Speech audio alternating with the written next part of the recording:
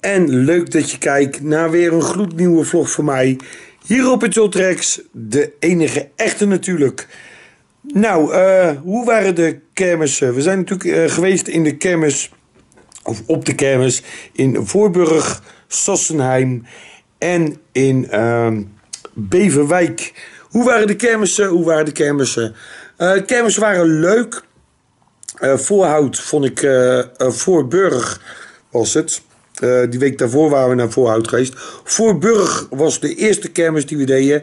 Uh, eigenlijk niet. Eigenlijk was de eerste kermis, jullie hebben het ook gehoord. De Voorburg-vlog uh, hebben jullie het gezien. er zat nog een kermis voor en dat was Den Haag, was dat. Maar in Den Haag er was echt helemaal niks. Het was een, een met één attractie. En dat was zo'n zo'n soort opblaastoestel. en dat was kermis. Scha je uit, jongens, met uh, dat een kermis te noemen. Uh, is echt super irritant. Je denkt dat het een kermis is, dan ga je er naartoe. En dan uh, blijkt het gewoon helemaal niks te wezen. Zonde, want nou, we hadden beter door kunnen rijden naar de volgende. En stel dat je dat als enige kermis hebt, nou dan ben je heel snel klaar voor de, voor de dag. Dus dat is geen kermis. Schijn ermee uit om dat een kermis te noemen. Um, de tweede kermis was dus de kermis in Voorburg. Ja, Voorburg. Vlakbij. En um, die hadden wij twee jaar geleden hadden wij die gedaan. Met, uh, toen was Kevin er nog bij. Gani. Uh, Sander was daarbij. Joost volgens mij ook. En, en, en Ricardo. Uh, twee jaar terug was die echt leuk. Was die. Het was echt een leuke kermis. Dit jaar verschrikkelijk. Wat een slechte kermis. Echt ja, ik, ik, uh, ik, vond, ja, ik vond er echt helemaal niks aan. Het enige leuke, uh, het hoogtepunt van de kermis. Uh, dat, kan ja, dat is dan wel leuk om dat op te noemen, want dan is het toch nog iets positiefs. Dat was die hele oude kermisattractie die jullie gezien hebben. Dat vond ik echt heel leuk. Maar voor de rest was er echt helemaal niks en niks aan. Het was echt een, uh, een saaie kermis was het. Er zat geen sfeer in. Het was dood als een pier was het. Uh, totaal geen beleving, geen, geen, uh, ja, geen sfeer. Uh, een kermis om gauw te vergeten. toen gingen we naar Sassenheim.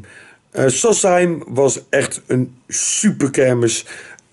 als ik moet kiezen tussen de drie kermissen of vier kermissen die we deze week gedaan hebben, of dit weekend gedaan hebben, dan was Sassheim op nummer 1. Want uh, was echt een hartstikke gezellige kermis.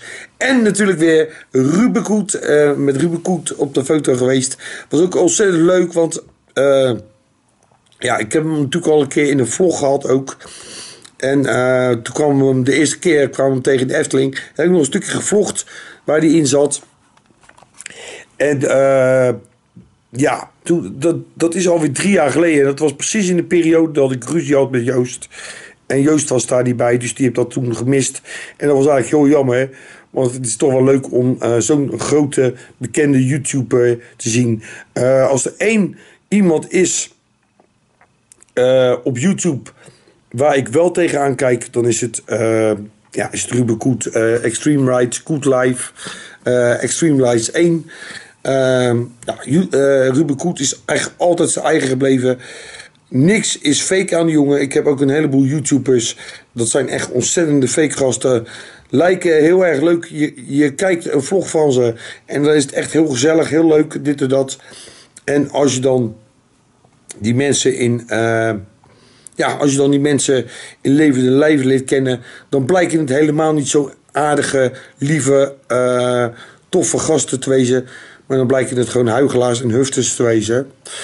Dus, uh, en ja, de enige met wie ik dat niet heb, dat is met Ruben Koet. Uh, Ruben Koet is uh, wel een ontzettend toffe gozer. Michael Kleinhout trouwens ook, hè. Ik wil Michael Kleinhout niet... Michael Kleinhout en Ruben Koet, super. In ieder geval, uh, Sassheim, ja, was een ontzettend leuke kermis. Daar zat tenminste wel een beetje sfeer in. Gezelligheid, het was echt gezellig. Ik vond het echt een hele leuke sfeer hebben top. Sassheim, uh, proficiat. Jullie hebben echt een hele leuke kermis dit jaar neergezet. De derde kermis Ja, dat was Beverwijk, eh vlakbij 020. Nou ja, jullie weten het. Ik ben niet zo fan van, eh, van 020.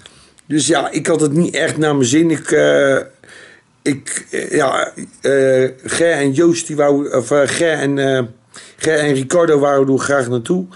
En eh, ja, dan ga ik gewoon mee. Vind ik wel leuk. En eh, toch weer een leuke vlog opgenomen. Maar ik heb helemaal niks met Daro, dat zootje daar in Noord-Holland. Ik heb daar helemaal niks mee. Eh, mij moet je daar niet voor vragen. Mij niet bellen daarvoor. Mij niet bellen. Maar ehm, ja, dat, nee, dat laat ik graag aan me voorbij gaan. In ieder geval, de breakdance natuurlijk was de grootste eh klapper, vond ik. Ik vond eh, de breakdance het allerleukste van de kermis in Beverwijk. En ehm, ja, voor de rest, eh, ja, het was wel leuk, het was wel leuk, maar ja, ik ben niet zo met Noord-Holland. Ik ben er niet zo fan van, dus mij niet bellen daarvoor. In ieder geval, dit was even een reviewtje hoe de kermis was. Ik bedank jullie allemaal weer voor het kijken. Ik zou zeggen jongens, vonden jullie deze vlog leuk? Doe duimpje de lucht in. Abonneer op mijn kanaal. Druk op belletje. En eh, ja, ik spreek jullie allemaal weer. Want er komen nog een heleboel leuke eh, vlogs komen eraan. En we gaan nog naar een heleboel leuke dingen. Dus hou het kanaal zeker weten in de gaten. Want er komen echt nog hele leuke dingen aan. Ja, dat was mijn afstandsbediening. Groetjes, doei!